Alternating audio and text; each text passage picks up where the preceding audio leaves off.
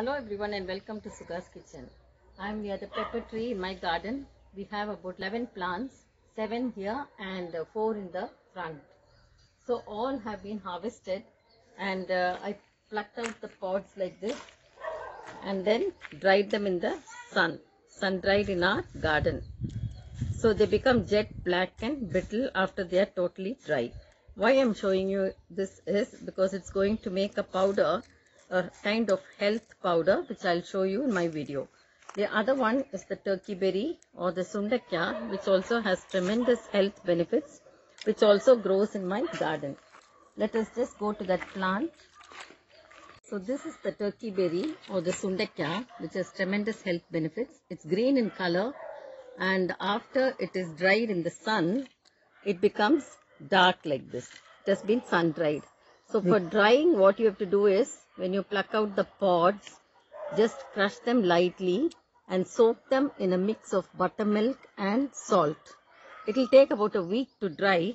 It will absorb the buttermilk and de- dehydrate to this kind of texture. This also goes into the podi. There are two.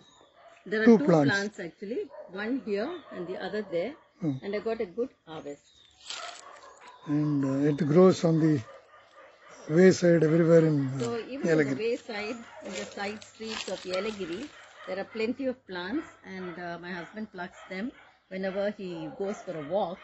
But already the two plants in our garden has given a good yield. And these are the neem flowers which has been drying in the sun whole day. But I've already dried and kept for making the powder which is inside and I'll just show you. So these are the somewhat fresh flowers that will take another week to dry. So you saw the plants from which we got, but there are some more ingredients that I do not grow at home, but I bought from the shop.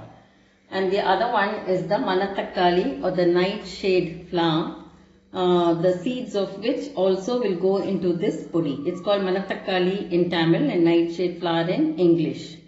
So then we have the pepper, the turkey berry, and the neem flowers which are well dried. One part of it I got it well dried. It is not available here in the hills, although we have a lot of neem trees. Climbing up the hill, you will find a lot of neem trees.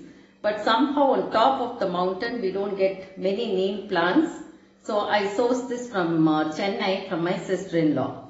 The other things that go into this are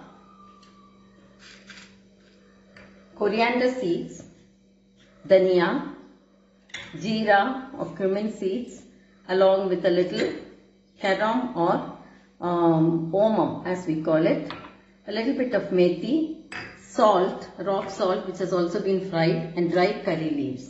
So what I've done is I've taken one measure. This is a half a standard cup, 130 ml.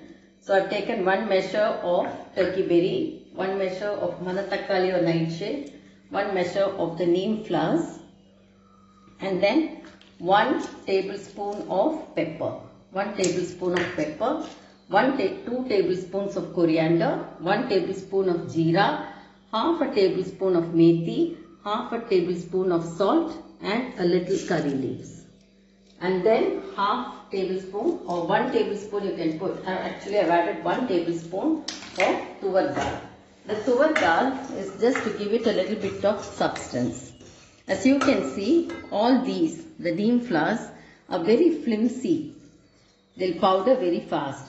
And even the turkey berry will crumble very fast. To hold it in place, we need something. So I've just added a little tuvar dal, which is just one tablespoon. Now when you fry these ingredients, each one has to be fried separately. The reason is because each one has a different gradient of temperature to withstand. Neem flowers will uh, dry, fast in the sun and will also like fry very fast. Whereas tuvar will take longer.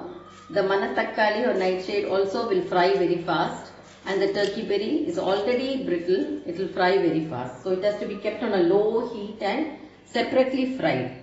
Pepper also lightly fried. Jeera and methi.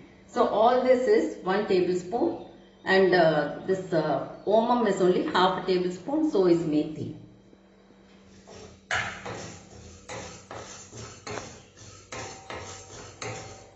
So the it's in simmer. If you keep it in high heat it will burn and the powder will have a very burnt smell. How to eat this powder is after everything is fried we'll have to powder it in the small mixie to a very fine powder. Now when you eat it, you can eat it twice a week along with hot rice and hot melted ghee or sesame oil. It's good for flatulence, it's good for digestion, it's got tremendous health benefits. You can Google and find out the benefits of each ingredient as I give in the description box. And uh, of course, as with anything, you cannot eat too much of it, but a little bit every day or just uh, twice a week to improve your digestive system. Name of the powder? Angaya Podi. It's called Angaya Podi and uh, it is one of the most popular South Indian podis and given to women after they deliver a baby because it helps in improving digestion. So after everything is fried, let it cool and you can mix up everything and grind them together. Only for frying it has to be done separate but for grinding it can be done all together. I have not yet added the salt because when we dry the turkey berry and the manathakkali and the uh, neem leaves, there will be a little bit of salt. We have soaked them in uh, buttermilk and salt. So let us check the salt and then add the salt. And the rock salt also has been fried. Now I am going to powder it.